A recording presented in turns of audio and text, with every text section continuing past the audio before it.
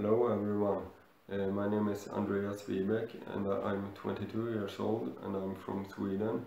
Uh, I first started working out uh, in autumn 2010 and I did my first competition in men's physique in uh, June 2015 and uh, this is my training journey so far. I hope you'll watch and enjoy.